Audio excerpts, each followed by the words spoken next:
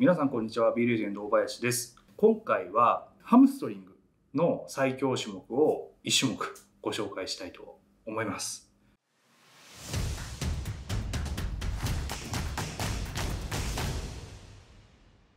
今回はですね久しぶりに最強種目シリーズということで一通りやったつもりでいたんですけども下半身のね最強種目があんまり紹介できてなかったということがね、えー、発覚しましてこれをねご覧になってる特に男性の方が多いと思うんでもう上半身ばっかり興味があって下半身ってあんまり興味ないかもしれないんですけどもそれでも下半身もねしっかり鍛えてボディービルの大会に出たいとかねトレーニングのパフォーマンスを上げていきたい。そんな方のためにねハムストリングの最強種目を1種目ご紹介したいと思います。もう何と言ってもね、デッドリフト、床引きの、それもナロースタンスのデッドリフトです。デッドリフトというと、背中のトレーニングというふうにイメージする方もいらっしゃると思うんですが、実はね、デッドリフトで一番使うのってハムストリングとお尻なんですね。それだけもうハムストリングにものすごい負荷がかかります。パワーリフターの方なんかは練習中にデッドリフトで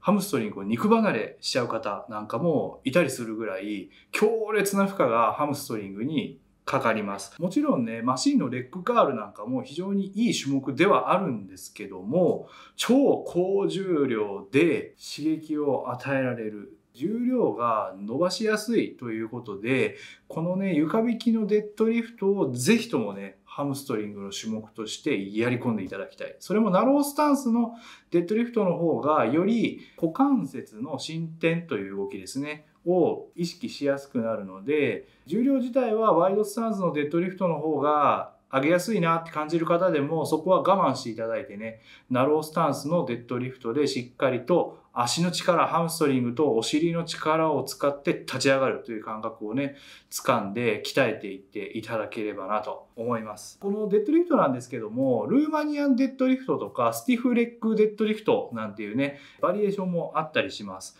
これらの種目はデッドリフトに比べてよりですね、ハムストリングとかお尻の筋肉を重点的に鍛えるようなバリエーションなんですけども、このバリエーションもね、やっぱり床引きのデッドリフトで基礎的な筋力をつけておくと、えー、効き方も全然違ってくるので、やはり何と言ってもね、場所を選ぶ種目ではありますし、めちゃくちゃしんどいんで、なかなかね、やる気にならない種目でもあるんですけども、ぜひぜひこの床引きのデッドリフトっていうのをね、取り入れていただければと思います。はい、今回はですね、ハムストリングの最強種目、ご紹介させていただきました。ぜひ取り組んでいただければと思います。それではまた次の動画でお会いしましょう。さようなら。